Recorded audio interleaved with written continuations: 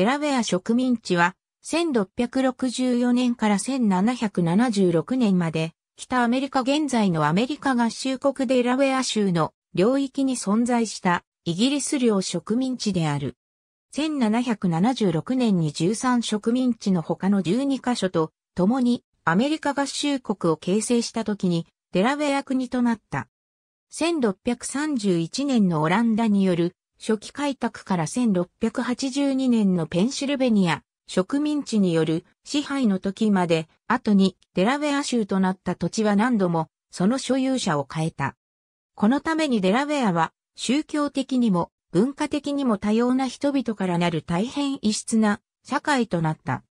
オランダのためにアジアへの北西航路を探るために1609年にヘンリー・ハドソンが行った航海の間に現在のデラウェア湾に入った。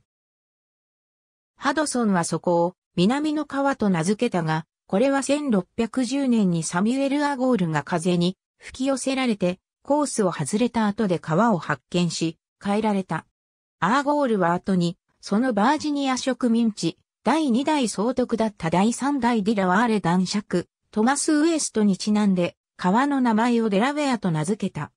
オランダもイギリスも初期はこの土地に、いかような種類の開拓地を作ることにも、興味を示さなかった。最初に、間にこの土地を開拓しようという試みは、1631年に、オランダが28人の男性の集団を派遣して、ルイスクリークのヘンローペン岬内陸に砦を建設した時だった。この最初の植民地は大きなクジラ群がいたことと芸油を作るという利点を生かすために作られた。しかし、1632年までに植民地住民全部が誤解のために先住インディアンに虐殺されることになった。1638年、ニュースウェーデン会社とピーター・ミヌイットがデラウェアの最初の高級的開拓地を作り、ミンクアンキルに全焼基地も作った。このスウェーデン人開拓地の全焼基地は、スウェーデンの女王にちなんでクリスチーナ・トリデと改名された。初期の有名な知事は、ジョハン・プリンツ大佐であり、この新しい植民地を10年間支配し、1654年にジョン・ライジングと交代した。スウェーデンの支配は1655年に終わった。ピーター・ストイフェサントがオランダの艦隊を率いて現れ、スウェーデンの砦を占領し、植民地の支配権を確立した。ニューアムステルダムの町が作られ毛皮貿易の中心と植民地管理の本部とされた。1664年、イングランドのヨーク公ジェームズがニューアムステルダムを占領した後で、ロバート・カー卿がデラウェア側に派遣された。カーはニューアムステルを奪いそこをニューキャッスルと改名した。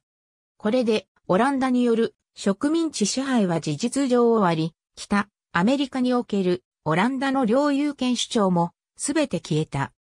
デラウェアは1664年から1682年までヨーク校の代理人によってニューヨーク植民地から統治された。1681年にウィリアム・ペンがイングランド王チャールズ2世からペンシルベニア植民地を特許された後で、ペンはヨーク校にデラウェアの土地を来い、後に受け取った。ペンはデラウェアの人々が多様な民族の混合であったために、その統治が大変難しかった。ペンシルベニアとデラウェア下流軍の政府を合併させようと試みた。双方の地域の代表が激しく衝突したので、1701年にペンは二つの別々の議会を持つことに同意した。デラウェア人はニューキャッスルで開始、ペンシルベニア人はフィラデルフィアで議会を開くことになった。デラウェアはスウェーデン人、フィンランド人、オランダ人、フランス人及びイギリス人の民族のルツボとなり、本拠であり続けた。デラウェアと呼ばれた地域は当初、クエーカー京都でペンシルベニア植民地の所有者、ウィリアム・ペンに所有された。アメリカ独立戦争初期の文献ではこの地域は、デラウェア側の下流3軍あるいはその3つの軍の名前で呼ばれていた。